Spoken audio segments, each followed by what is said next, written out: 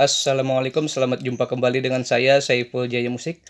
Kali ini saya akan buka.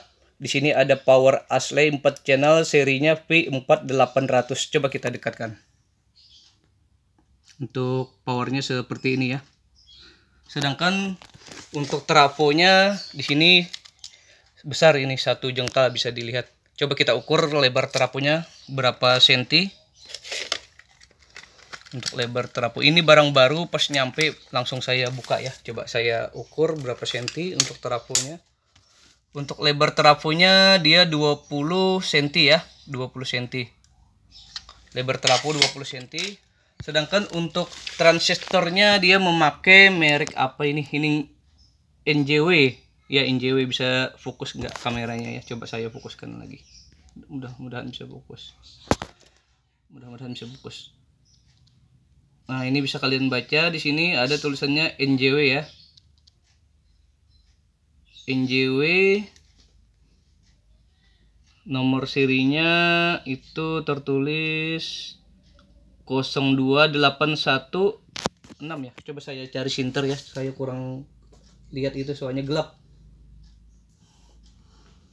Nah, untuk serinya kawan-kawan bisa lihat sendiri di video ya. Mudah-mudahan bisa kebaca sorry sorry kameranya jatuh. Nah ini bisa semoga bisa terbaca dengan bagus.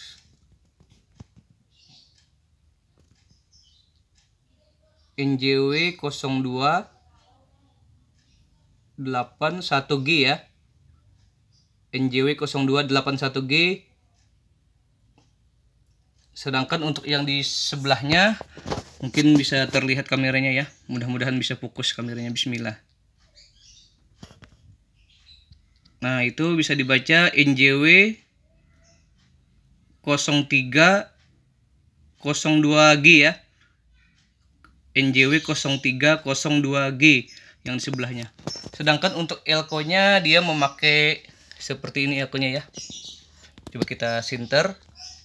Untuk merek elko-nya mereknya dari Ashley sendiri ya, bukan merek-merek lain tapi dari Ashley sendiri.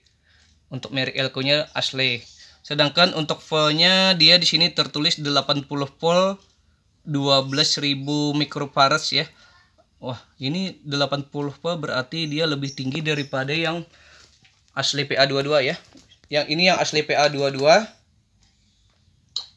Sedangkan asli PA22 ini elko-nya cuma tertulis di sini 12.000 mikrofarad dan 60 63 volt.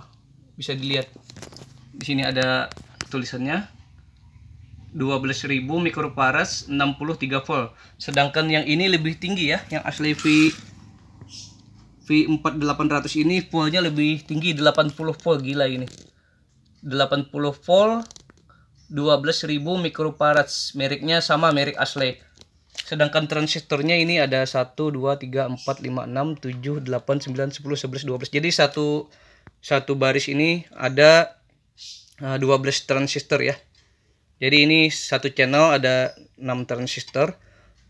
Sedangkan untuk yang fitur-fitur lainnya saya kurang mengerti maaf soalnya saya bukan servis saya cuman penjual. Jadi saya tidak bisa menjelaskan eh, fungsi-fungsi uh, alat-alat yang ada di sini. Kalau ini saya ngerti ini softwarenya ini. Kalau bagian di sini saya ngerti ini software. Cuman kalau yang lainnya saya kurang ngerti ya.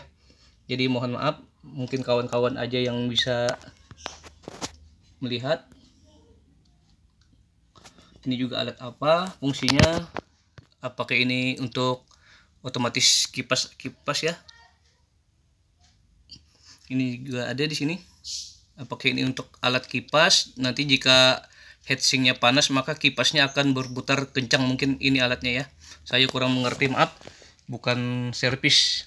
Nah jadi di sebelahnya seperti ini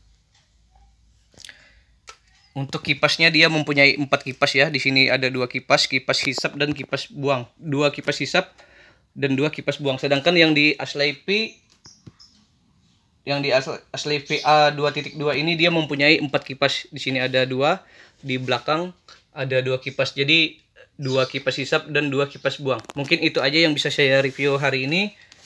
Untuk dalamnya saya kurang tahu apakah trafo ini tembaga atau aluminium saya tidak tahu ya. Maaf ya saya bukannya apa soalnya saya nggak pernah buka trafo yang ini. Sama juga yang untuk asli PA22 ini saya juga nggak tahu untuk trafonya lilitan kawatnya apakah tembaga atau aluminium saya kurang tahu. Jadi maaf nggak bisa saya jelaskan.